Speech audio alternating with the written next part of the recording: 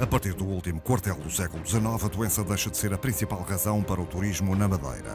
O desenvolvimento da navegação a vapor leva à massificação das viagens e o lazer torna-se o um motor da mobilidade humana. A oferta hoteleira aumenta, com a abertura de unidades como Bela Vista ou Reed's New Hotel, pensadas para um novo tipo de visitantes. A cidade de Funchal adapta-se cada vez mais ao turismo, que assume cada vez mais importância como atividade económica, substituindo o vinho madeira.